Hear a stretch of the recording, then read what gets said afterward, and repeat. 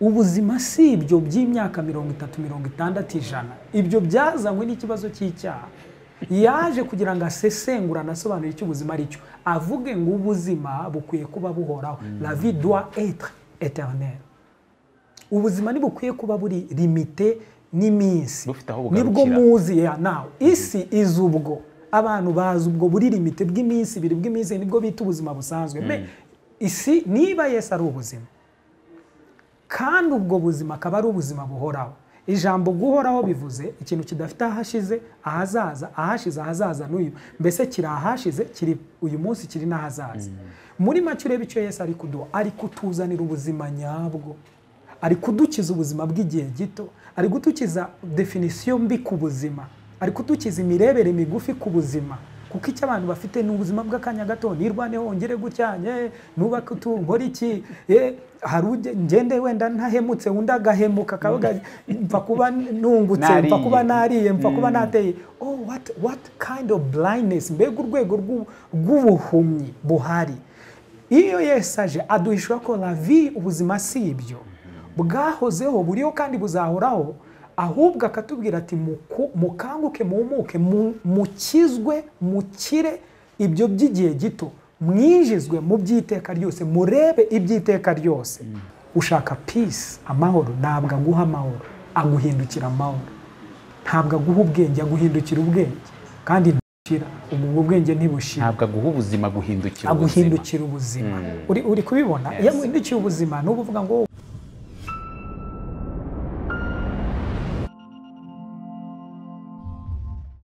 nongeye kubaha ikaze mu kiganiro gishyashya cy'uyu munsi ari na cyo gice cya kabiri gikurikira igice cya mbere. Twari turi kumwe na dan adusobanurira kuri kirisito ndetse n'uwo ari we n'uwo dukwiye kumumenya ko ari we nyawe kurusha uko tumwitiranya. Igice cya mbere twasoje tubabwira ko tuzaganira noneho ku mazina bamwita abagikurikiye ngira ngo mwararyohewe twarabibonye abagiye batwandikira twabonye komenti zanyu ndetse n'abaciye mu gikari.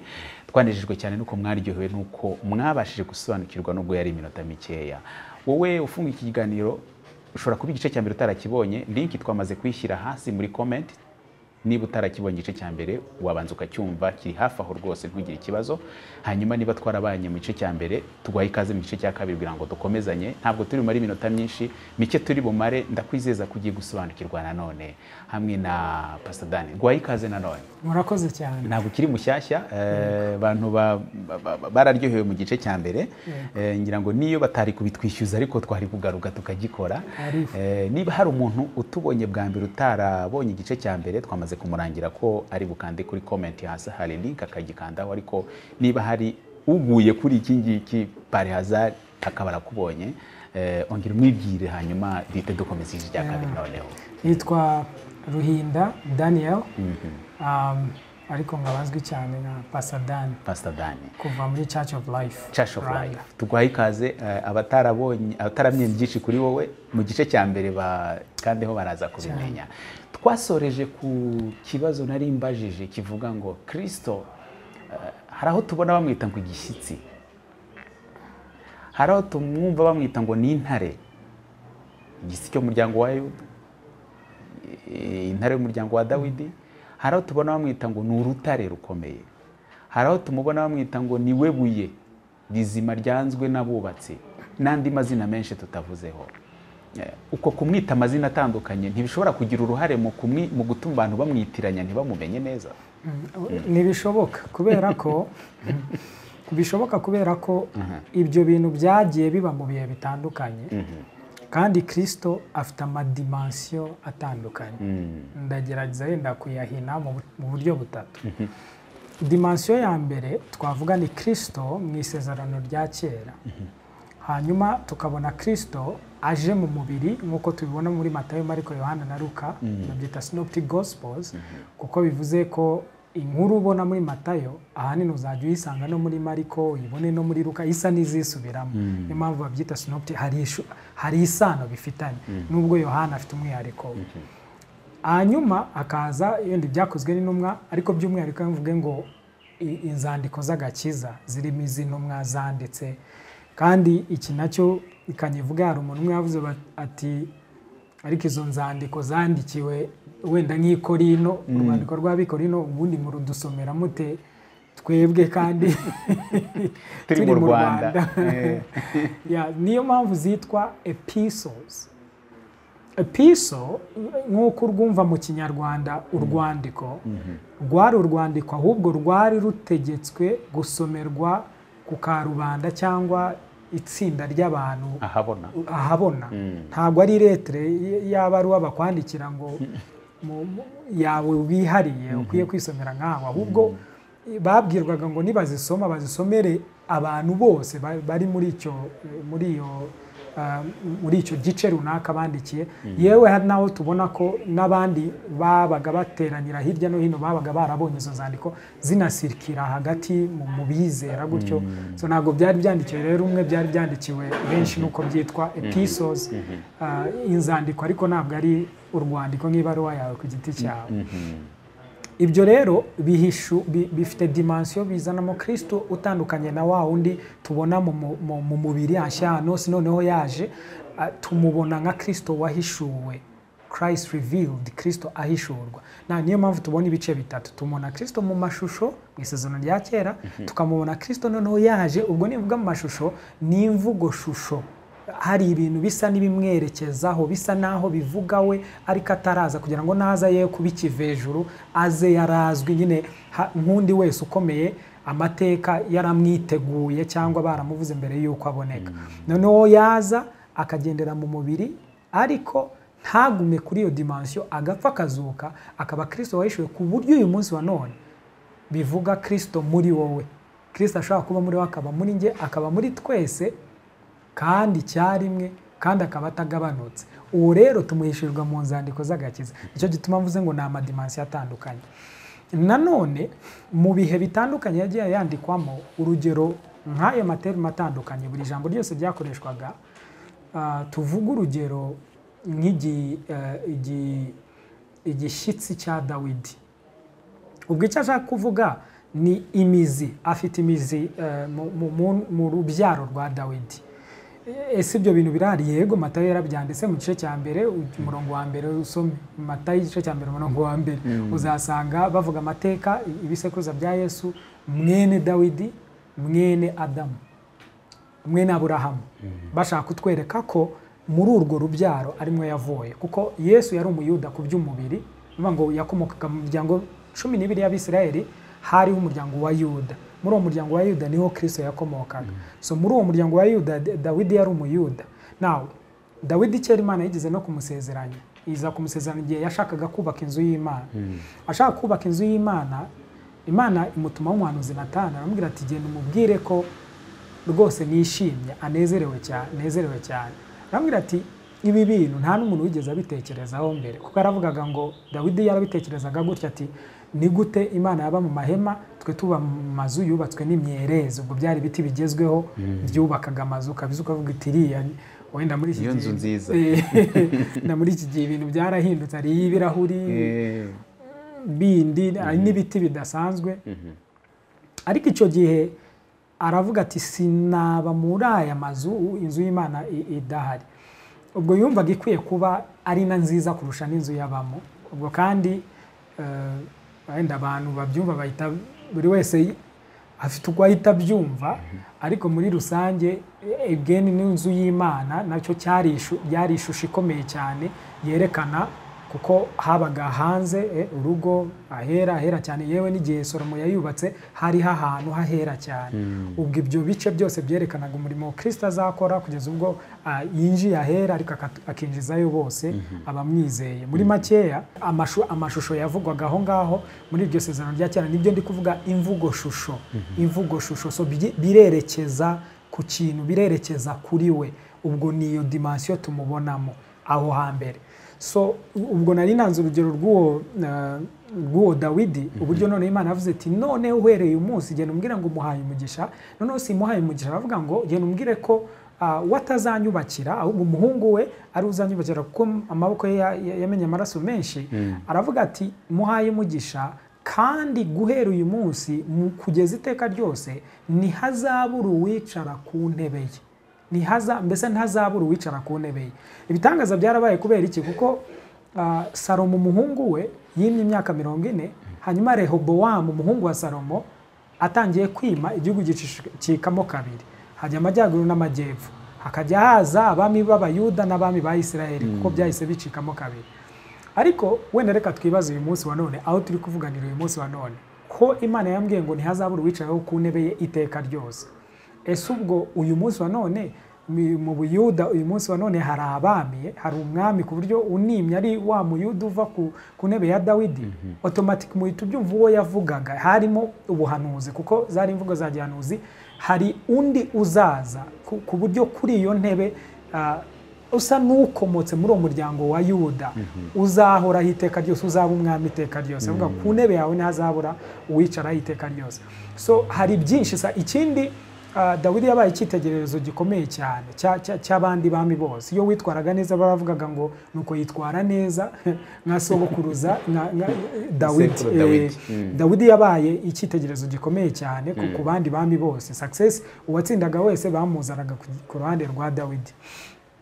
So mu- muri icyo gihe rero kirisito avugwa mu, mu mashusho ni muri ubwo buryo hazanaga mu, gihe yesu yaje bivuga yuko ari igishyitsi cya dawidi kwari ukwerekana wani ubwami bwa dawidi uburyo bwari bukomeye na dawidi uwo yari ari we noneho no kwerekana yuko mu muryango we nk'uko byari byarahanuwe ibyo bintu bibaye ibyo bintu bisohoye.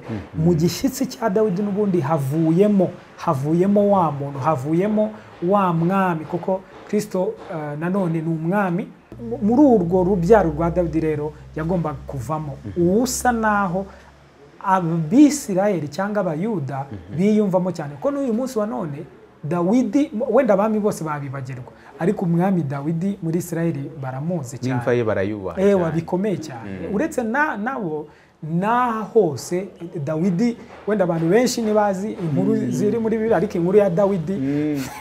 na zaburi ya dawidi zaburi noneho kuba yaranditse zaburi ndetse ko mu byanditswe bye bamugarukaho nk'umuhanuzi ubwo ni mu byakozwe n'umwanya igice cya kabiri petero avuga ko yari umuhanuzi. Muri makeya kuvuga ngo ni igishyitsi cya dawidi ari muri uwo murongo mu buryo bw'umubiri nk'umuyuda. So ntabwo ari ikivejuru muri ubwo buryo kugira ngo bamwakire ko ari wa wundi waje. Urumva yavugaga ibyo bintu ubyumva n'ubundi ni wa muyuda ufite amateka ya dawidi uzi uwo dawidi ari we ku buryo uje bamwakire nk'umwami. Nubwo batamwakiriye uko bakwiye kumwakira ariko nibura byari byanditse ko ari igishyitsi cya dawidi. So iryo zina rishobora kuba ryaramekingaga sensi muri icyo gihe. Ubwo uribwiye nk'umunyarwanda wa- wa- bunaka yakubwira se uwo dawidi? Ni ibimurenze ntabwo. Aha. None turabihuza nanone dute rero n'intare? Yego ni kimwe rero n'iby'intare. Intare yo mu muryango wa yuda. Um, intare y'umuryango wa yuda ni kimwe ni harimo amagambo menshi yagiye akoreshwa. Uh, mu bayuda uh, n'uyu munsi abakristo bakoresha cyane. Um, like? Niyo ni- n'ibyo ngibyo uri kuvuga. Intare yo mu muryango wa yuda. Igishyitsi cya dawidi. Ariko impamvu abikoresha si uko bitanditse biranditse pe. Um, ariko ubwo ndi kuvuga ngo igihe yavuga ngo ni intare yo mu muryango wa yuda hari representation ya buri muryango nanone buri muryango na yo wagiraga ibiwurepresenta Um, so umunsi igihe abisirayeli bavuga muri egiputa bagenda bagiye bagombaga guca mu gihugu aho hariho umugabo witwaga baramu baramu ahamagawe na baraki ubwo ni mu kubara igice cya makumyabiri na kane makumyabiri na gatatu. Baraki yanga abisirayeli baca mu gihugu cye nuko agenda hariho umugabo wavaga iburasirazuba witwaga baramu aramuhamagara ngo aze amuvumire abisirayeli. So baramu araza mu gihe yari agiye kubavuma hari ibintu yeretswe. Atangira kubona ibintu biri hagati muri bo. So kimwe mu byo yabonye yabonye ngo uh, ubwo bwoko bwari bumeze nk'intare y'ingore yari ibundaye hagati yabo. Urumva muri make kubibona gutyo ni byo gituma ya- yatangaye cyane akumva urumva iyo ni representation ubwira uvuga ngo ni intare ubundi ntawe utera intare ubusanzwe intare ni umwami eh, wi- w'ishyamba uko bisanzwe bizi so ko yabibonaga gutya ari kubireba mu mwuka ariko yitegereje akabona ni intare. Akabona ngo ni nk'intare iryamye hagati muri bo. Si byo bigatuma avuga ati aba bantu ntabwo wabiterereza kubera ikiri hagati muri bo. Ubwo kandi uzi icyo yabonaga? Ni uko hari isanduku y'imana yabaga iri hagati mu bisirayeli kuko urugendo rwabo bakoraga ku buryo imiryango imiryango yabaga yiciyemo ibice mu- rugendo rwabo ntabwo bagendaga uko babonye. Umuryango umwe mu majyaruguru mu majyepfo mu majyaruguru mu majyepfo hagati hakagenda umuryango w'abarewi wikoreye isanduku y'imana y'isezerano. So ba- yitegerezaga we ntiyabona isanduku abona intare. Kubera ko iyo sanduku ubwayo iranareperezanta kirisito kubera icyo isanduku y'imana ya- yavugaga yari irimo ibihamya ibyo bihamya byose tubisesenguye wahita ubona aho kirisito ahurira nawe ariko muri rusange ubwo intare ni nko gushaka kureperezanta imbaraga nanone nk'umwami igitinyiro ubwo bushobozi ubwo ubudahangarwa iyo ntare yari ifite. So n'ayo materime yose yakoreshwaga yakoreshwaga muri iyo sanse ko ari na yo y'umuryango wa yuda. Nanone bari kwita umuryango wa yuda ubyibuke ko habayeho shizme ya israel israel yacitsemo kabiri. Ubu se aho tuvuganira gutya? Kuki bavuga ngo mu bayahudi? Abayahudi. Kuki usanga judayizme inabaho? Aba- abayahudi. Kuki batinda ku bayahudi cyane kurusha? Ni ukubera amateka y'ibyabaye. Igihugu kimaze gucikamo kabiri imiryango icumi bivuga ko yaje kuzimira hari ya- yaje kuzimira ku mateka uko yagiye akurikirana ahubwo usanga nk'umuryango wagumyeho ukanakomera ari umuryango w'abayuda cyane. Kuko uw'amajyaruguru hari hari amajyaruguru n'amajyepfo. Iyari isirayeli yari ifite imiryango cumi you know, kuko hari utarabarwaga. Utarabarwaga n'uw'abarewi abarewi ntibabarwaga bari bihariye. Iyo miryango yaje kwivanga n'andi mahanga. Buriya ni naho hagenda hakomoka abo bita abasamariya uribuka ya nkuru za yesu abo wa musamariya ya- yahuraga na yesu banywa amazi ah, ashaka amazi wa mugore akamubwira ati ko ndi umusamariya wowe ukaba uri umuyuda?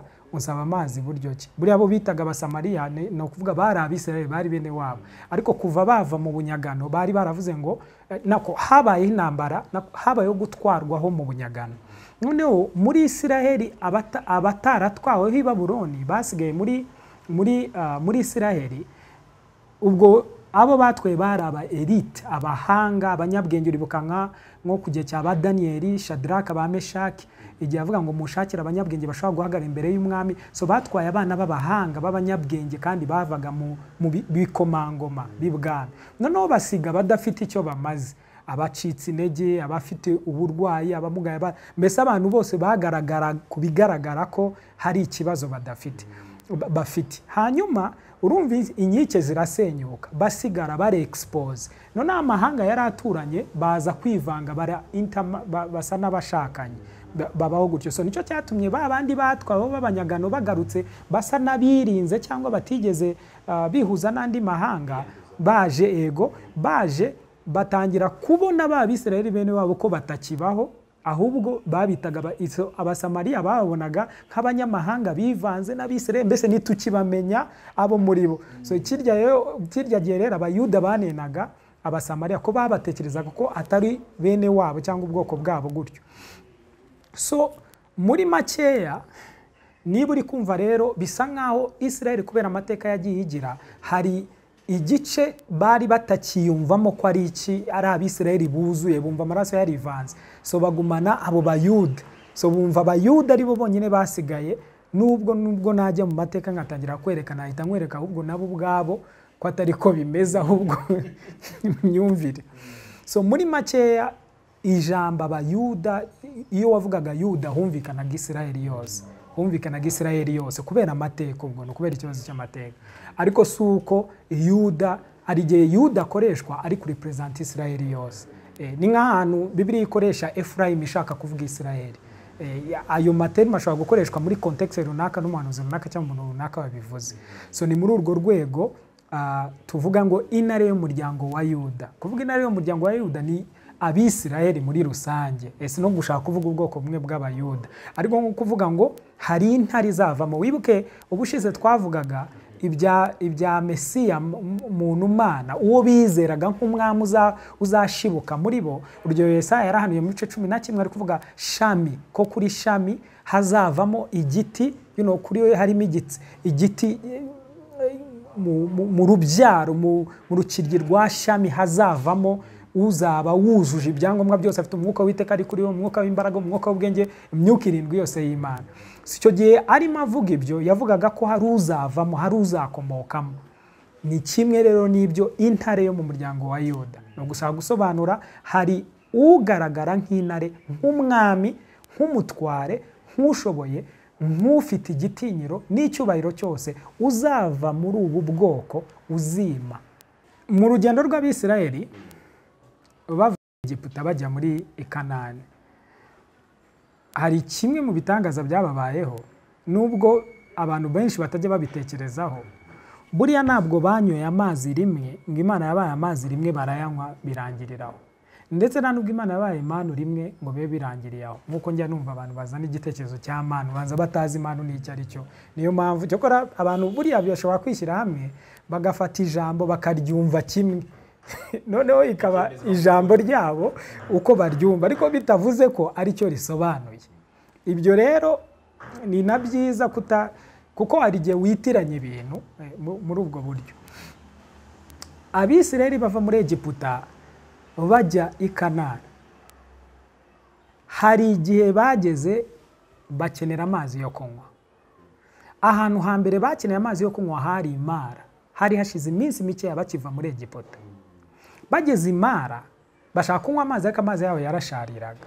Na imana ibwira mose gufata igiti akijugunya mu- muri ayo mazi amazi arahumanuka. Nk'ishusho y'igiti gihumanura amazi amazi ni iki? Areperezanta ubuzima. Ubuzima buhumanye ubuzima butari bwiza. Ariko n'iki kigiye kubugira bwiza? Ni igiti.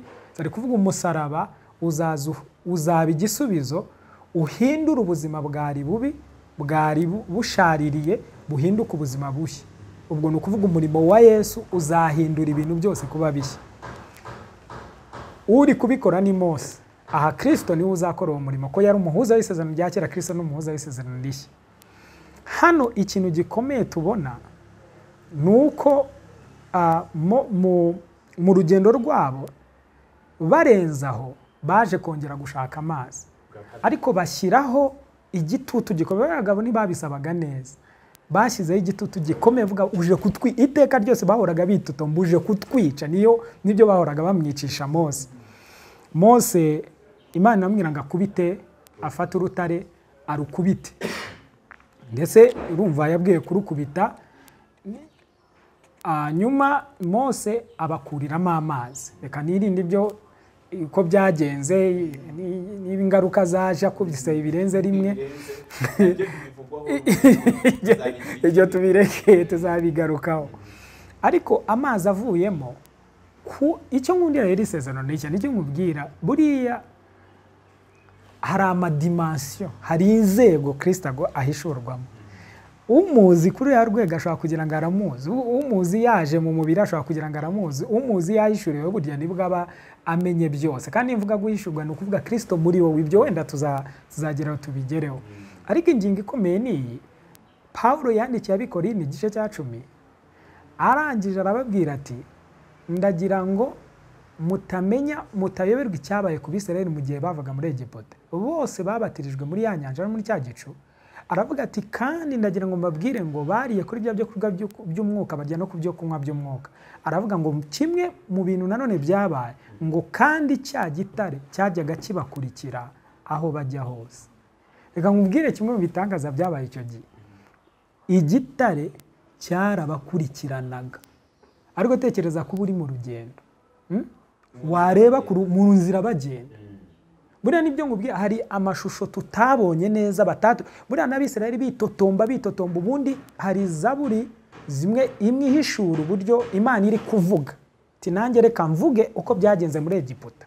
Mwe mu- iyo muvuze muvuga uburyo mwishwe n'inzara uburyo nabatereranye. Nanjye nanjye reka mvuge. Nabakuye muri egiputa ni ikihe kibazo mwagize? Kuko iyo dutekereje ubutayu turatitira urabizi hari ibisobanuro byinshi. Ariko ikintu gikomeye ni uko mu butayu aho batigeze bumva ubutayu nk'uko twe tubitekereza. Icya mbere hari igicu hejuru yabo. Ibyo bintu ntubizi ko hari igicu hejuru yabo. Ntiyo uzi ko icyo gicu cyahindukaga inkingi ah, y'umuriro nijoro ku manywa kikaba inkingi y'igice isanzwe. None wari wabona nka cya gihe izuba ryacanye. Ri ari ryinshi ukajya kubona ibicu biciyeho ukumva birakingirije urumva esi urumva uburyo umererwa neza ubuhehere ubu rero nta nubwo ari igicu cyazaga kigenda cyabaga hejuru. Buriya ntibigeze bumva ubushyuhe bwo mu butayu nk'uko tubitekereza. Imana iri kwivugira icya kabiri. Iravuga iti noneho mugenda hari umuntu n'umwe wigeze ajya guhaha ya- ya- yataye umutwe inkweto zashaje imyenda yashaje. Inkweto zabo ntizakoze iki? Ntizabasaziyeho. Tekereza ariko kujya ugenda ukajya ubona zabaye nshya wenda reka niyo kuvuga niyo kuvuga zashaje reba zihora ari nshya. Imyenda ukabona niyo wakura kuko bamaze imyaka mirongo ine. Oh God. niyo wakura ukabona nta kibazo.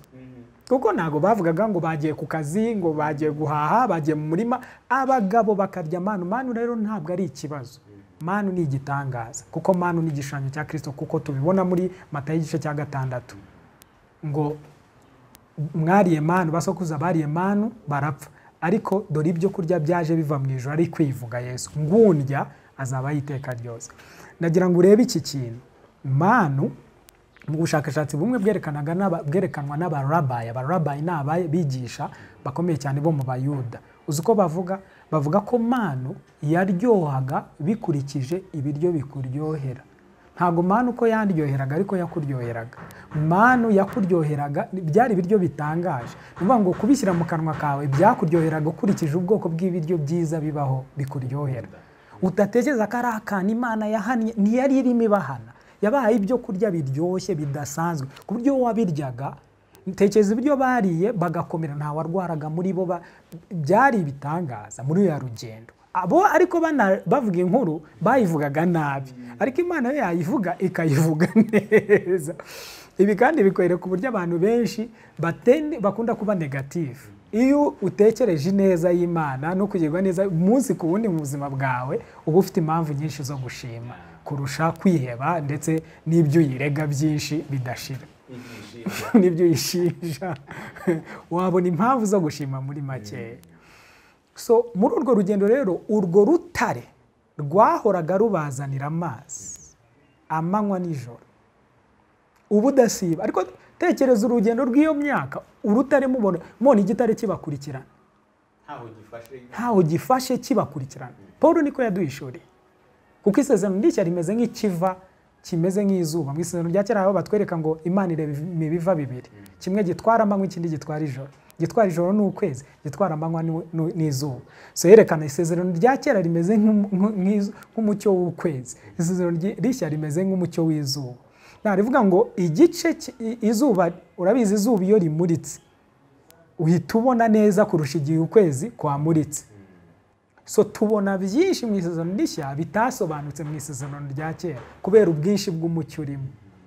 So ni we uri kuduha rero uwo mucyo atubwira ati aba bantu bararyohewe bagubwa neza ibyo bansabaga barabibonaga. So baritotomba imana ibaha amazi urutare igitare kikabakurikirana. Icyo gitare rero iyo wakivugaga babaga bacyumva hari igitare mu bitare igitare ni ibisanzwe muri mu- mu- mu mahanga yose mu isi yose buri bantu bazi ibitare ni wani biba bivuze gukomera urumva ikindi biba bivuga ikintu kitanyeganyega uko kiri niko cyahoze ni- niko kizahora.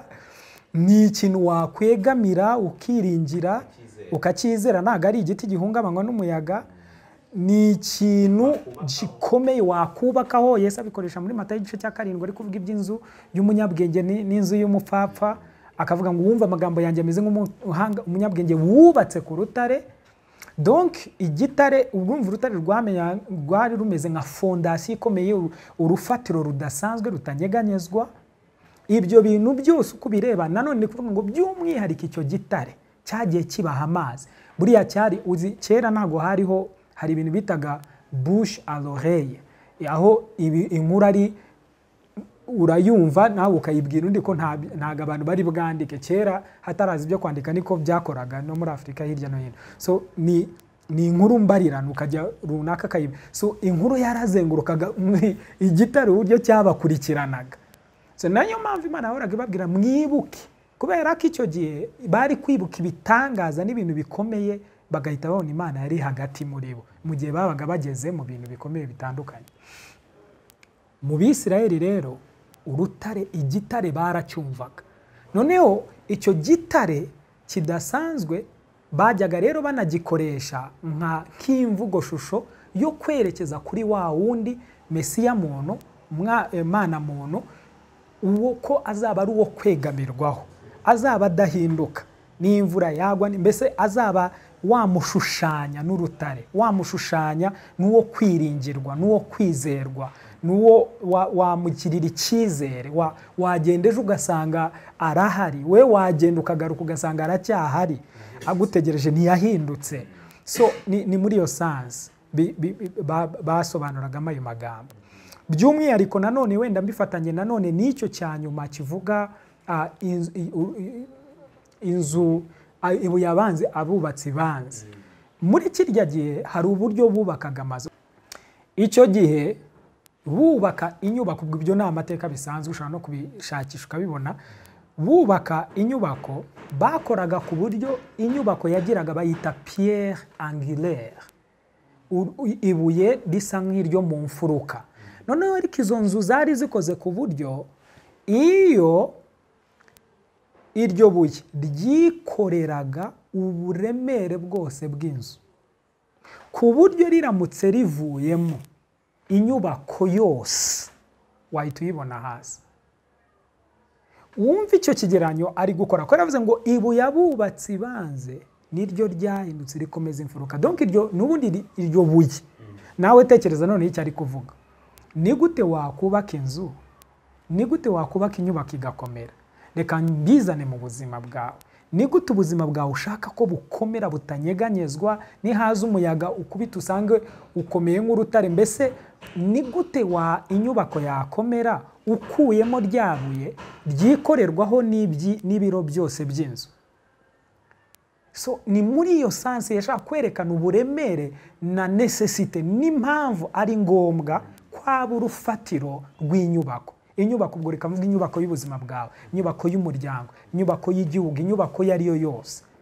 Niba ukuyemo iryo buye ku bubatsi hakubwira twe kwirirwa tuzamuka kuko umuyaga niba ritarimo nta nzu dufite ntabwo ari ntabwo ari ibigaragara inyuma ubona bizayikomeza. Inzu ikomerera muri fondasiyo yayo mu rufatiro rwayo. Niba urufatiro rudahari waterekaho iki mu by'ukuri? Ntigihirime. So iryo buye abubatsi banze bari gukoresha n'iyo terme bashaka kwerekana nta nyubako nta nzu. Kandi wumve ukuntu bitangaje ubwo yanabivugaga yerekana abafarisayo n'abanditsi n'abandi benshi bavugaga ko Yesu atari necessary adakenewe atari ngombwa. Noneho agakoresha iyo terme nko kubabwira oke nimumwigeza hirya ni nk'ibuye rya bubatsi baba bakeneye rikwiye gukomeza inzu n'imfuruka no gusakara nimurikuramo ubwo namwe muri kubona ubwoko bw'inzu muri kubaka. Ntitwagarantisa ejo n'ejo hayo ntituzi uko bizagenda ariko kandi ibirenze ibyo ni uko kirisito kuba urufatiro burya igikomeye cyane ari kuvuga n'iki ari kuvuga ni ubuzima ni ubugingo butari ubw'iki gihe gusa ahubwo ubugingo buhoraho. La vie eternelle ubuzima buhoraho uwo nguwo naza azaba ubuzima buhoraho ntabwo azaba gusa inyubako y'iminsi mike azaba inyubako y'iteka ryose. Azaba inyubako itazahindu itazakurwaho n'umuntu uwo ari we wese. Iyo uje muri dimansiyo ya kirisito wahishuwe muri iri sezerano rishya tumuyishyurirwa nk'ubugingo buhoraho. Tumuyishyurirwa nk'ubuzima. Ntabwo tuba tukimuyishyurirwa nk'umuntu uri ahantu runaka nkeneye mu buzima bwanjye. Ya sekomsi ari ni we vi. Wibuke hari amagambo yose yavuze ngo ni ingenzira n'ukuri n'ubugingo. Uri kubibona ni ingenzira n'ukuri n'iki n'ubugingo n'ubuzima. Ubwo ni iki umwami ari kuvuga? Ari kuvuga ni inge buzima. Ni inge definisiyo y'ubuzima. Ubwo rero ngewe iyo ndi kumva ubuzima bwa busanzwe n'ubuzima ubwo uhita ubona ko nyine ni cya kibazo ko tutazi ubuzima icyo ari cyo what is life anyway? Ubundi dushobora kwibaza icyo kibazo. Ubundi ubuzima ni ubuhe? Ubuzima ni iki? Igisobanuro cy'ubuzima ni ikihe reka nkwereke uburyo turi limite cyane mu myumvire yacu y'icy'ubuzima ari cyo. Mm. icyo abantu badefinisa cyose nk'ubuzima ni ibyo batekereza uyu munsi wa none kugeza igihe bazaba bapfiriye. Uri kubibona? So batekereza ubuzima nk'iminsi mike wenda imyaka makumyabiri mirongo itatu ijana. Babaye bariho. Nicyo we ari kwita ubuzima. Reka dusohoke muri iyo muri iyo definisiyo iri naro ntoya ingana gutyo. Usanze ubuzima burenze imyaka makumyabiri cyangwa mirongo itatu cyangwa ijana ubaho gusa. What if? Ariko biri. Icyo rero ni cyo kirisito yaje guhishura ko ubuzima atari ibyo. Ubuzima si ibyo by'imyaka mirongo itatu mirongo itandatu ijana. Ibyo byazanywe n'ikibazo cy'icyaha. Yaje kugira ngo asesengure anasobanure icyo ubuzima ari cyo. Avuge ngo ubuzima bukwiye kuba buhoraho. La vie doit être éternelle. Ubuzima ntibukwiye kuba buri limite n'iminsi. Nibwo muzi. Ya nawe isi izi ubwo. Abantu bazi ubwo buri limite bw'iminsi ibiri bw'iminsi ni bwo bita ubuzima busanzwe. Me, isi niba yesu ari ubuzima kandi ubwo buzima akaba ari ubuzima buhoraho. Ijambo guhoraho bivuze ikintu kidafite ahashize ahazaza ahashize ahazaza n'uyu mbese kiri ahashize kiri uyu munsi kiri n'ahazaza. Muri make ureba icyo yesu ari kuduha. Ari kutuzanira ubuzima nyabwo. Ari kudukiza ubuzima bw'igihe gito. Ari kudukiza definisiyo mbi ku buzima. Ari kudukiza imirebere migufi ku buzima.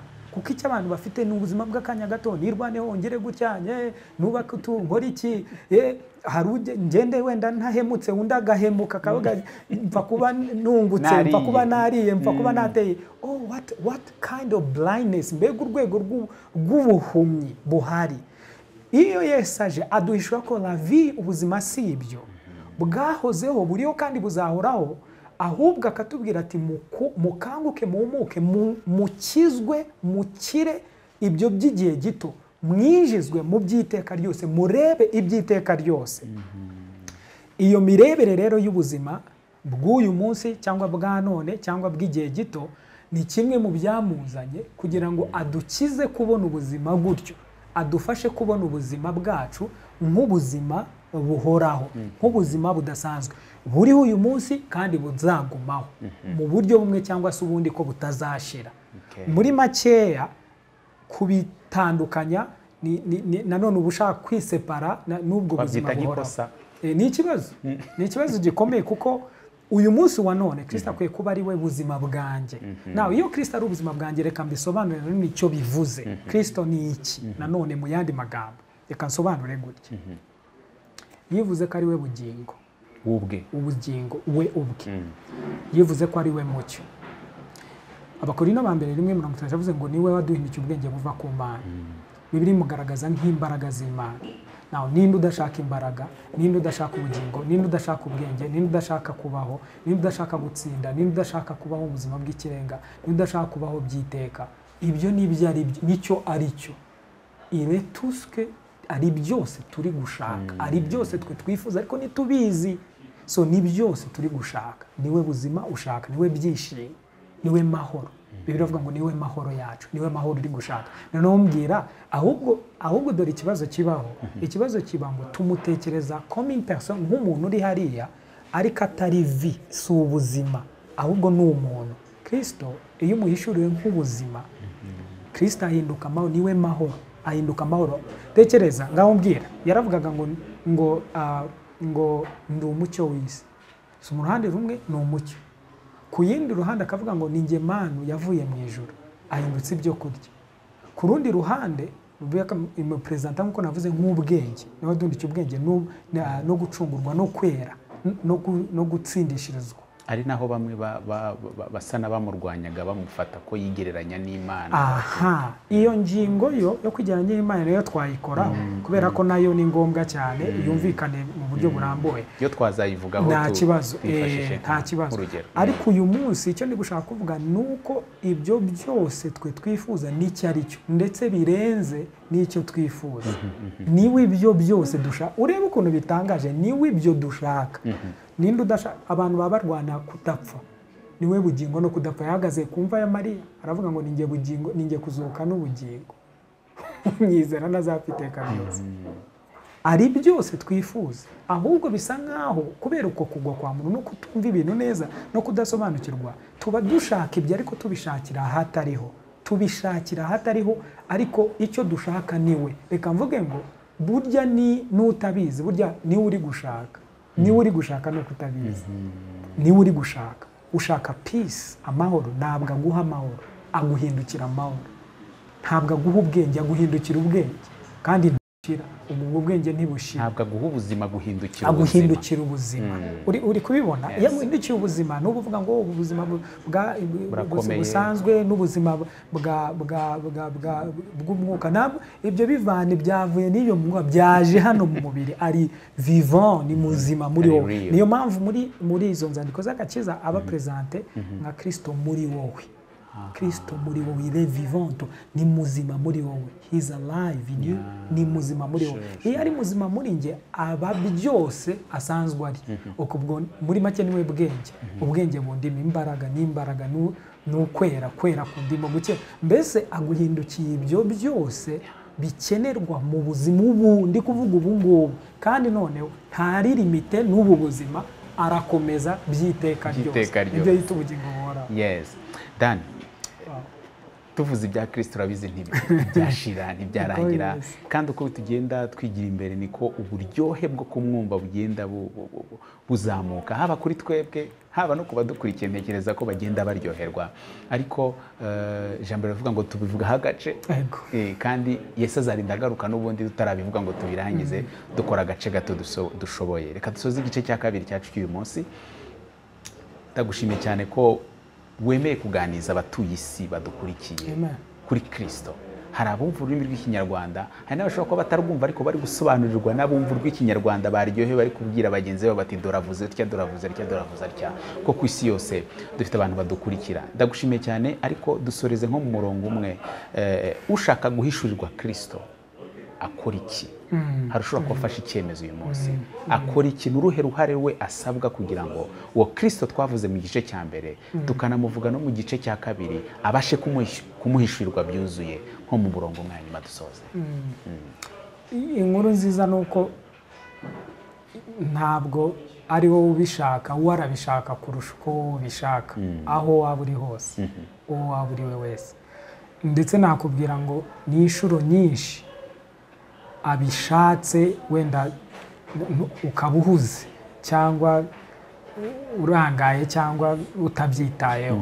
Si- si natwe rero urumva tubishaka ni we ubishaka cyane. Urugero niba uyu munsi abyumvishije na- na- nabyemera na- na- na- wabya- wamwemera wa- wa- wamye- wabyakira ikintu cyonyine ushobora wenda gukora ni iki? Ni ukwiyegisipoza kuri ayo makuru No- no- ni ukurushaho kuyumva ni ni ugushaka akanya uka- ukabiha akanya uka- ugashaka kubyumva uka- ukabyemera kubyumva.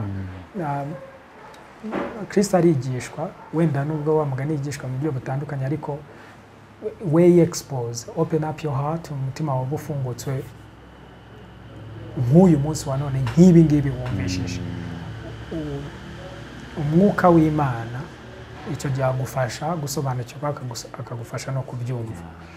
Ikindi ni uko iyo umaze kuba konvenka umutima wawe wemeza umutima wawe ukatuza akanwa kawe ko ari um- we mwami. Ariko ntabwo watuza akanwa kawe nko gushaka kuvuga ngo nkore umuhango. Ubwo ndi gushaka kuvuga banza ubyumve bi- biha akanya ubyumve. Sobanukirwa mbese nk'ubu ngubu niba uri kubyumva ubwo bivuze ngo nanone ni ya nzira akomeza gucishamo ashaka kukwiyishurira n'ibi wumvishije ni uburyo bwo kukwiyishurira kandi azakomeza anabikore by the way n'ubizi uyu munsi azakomeza amwishurire ndetse kurushaho.